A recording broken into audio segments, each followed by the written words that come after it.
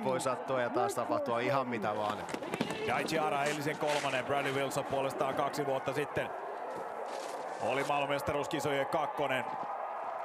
Hallitsevan mestarin hän syöksi vallasta tuossa viime kierroksella ja nyt tämä keskipätkä, katsotaan miten miehille kestää. Ai, ai, ai, siellä ai, on pidä, suuria pidä, ongelmia. Vasemmalla siellä on suuria ongelmia myös- myöskin Haralla ja sitten tuo topla menee niin pitkälle, että toivottavasti mies on kunnossa.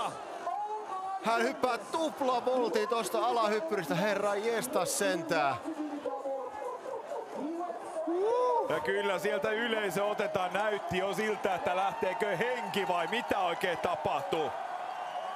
Herra Vähän jestas sentää. kukkuluuru tuo Daichi Hara katse, mutta Ei, ei nyt herra. nähtiin jotain, mitä ei ole tässä laissa kyllä nähty.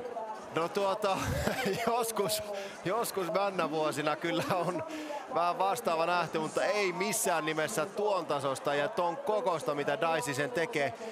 Bradley Wilson siellä pyörittelee silmien, että mitä siellä nyt oikein tapahtui, missä on Daichi Hara. Tässä Kato, lähtee ei Haralla mitään laukalle. rotia, ei mitään rotia, ei minkäänlaista kontrollia Daisilla tuohon tulossa on toisella toisella nokalla. Kato tuota vauhtia, hän lähtee, hän yrittää tehdä kaikkensa, että se ei lähtisi menemään.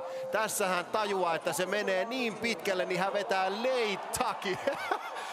Siihen painettiin aerial sypyt perään.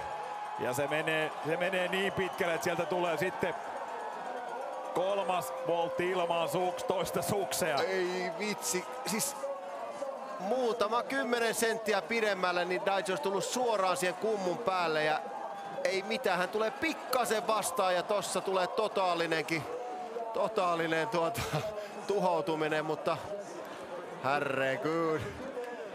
Ei mitään rajaa, ei mitään rajaa ja tää on sitä, mitä ihmiset ja katsojat tässä niinku parhaimmillaan saavat, mutta tuota, Ja heti näyttää Daichi Hara siellä, että ei mitään hengissä olla.